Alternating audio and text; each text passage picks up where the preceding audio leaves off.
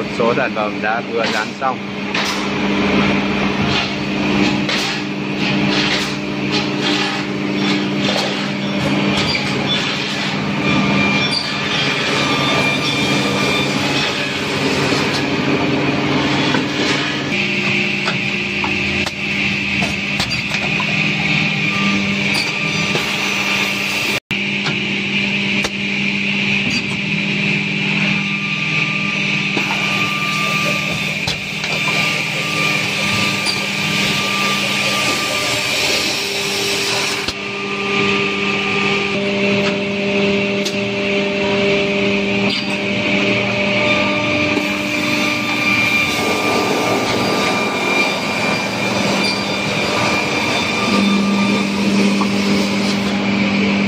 Màn hình điều khiển của máy đồng hồ hiển thị nhiệt độ.